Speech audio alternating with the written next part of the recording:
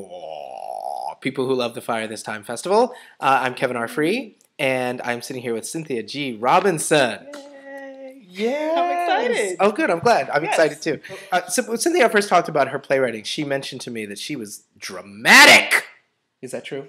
I am dramatic. I'm dramatic and raw. Oh, I, I like I like raw emotion. Yeah, I like that. Yeah? I, that- yeah. What what is what compels you? What what draws you to dr- dramatic raw emotion? Because I can say in a play what I would never dare say in real life. Ah. So I can be irreverent and I can be scary and I can be sort of off the chain. Yes. And I like that.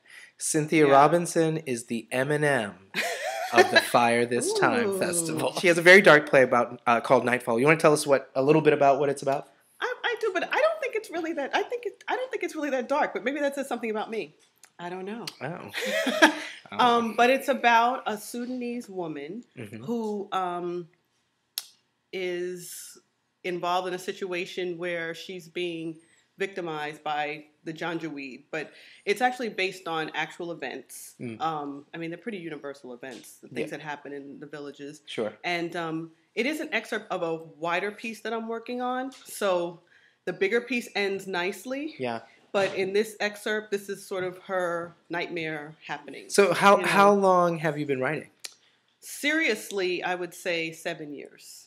That's a long time. Seriously. I think you might be of all of the playwrights. Are you going to say the oldest? no, What are you going to say? I'm the oldest. Hmm. I'm the oldest. I'm Hmm. I'm 43. I think that you That have be. you've been right. But as long as you can't tell, listen. That's right. What I'm saying is that I think you've been writing longer than any of the other playwrights this Mm. year. I mean, it's Oh, interesting. it- well, I mean, it sort of um, places. Uh, it gives us a it helps us to redefine uh, uh, emerging. yes. playwrights. And I've been thinking about that because when are you no longer emerging? I don't know I don't know either. what's happening next.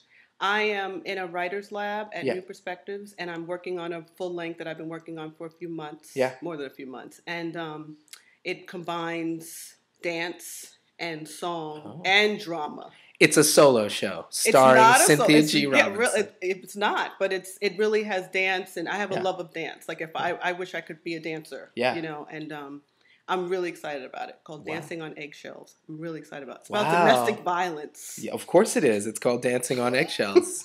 I mean, and love.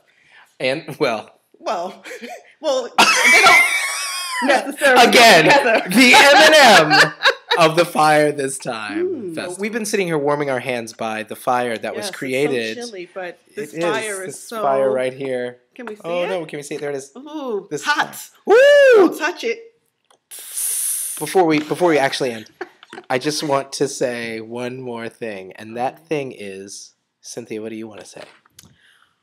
Oh, I want to say that I'm really grateful for this opportunity, and I'm really excited about all the people that I've met, and to be working with all the people. And it's really humbling to have so many people work on your work. Like that's so awesome. I love that, and I love you. It's I love you, exciting. darling. Oh, We're hugging. We're Her hugging. husband is watching. we're gonna cover. That's right. The hug happens. the hug happens, and then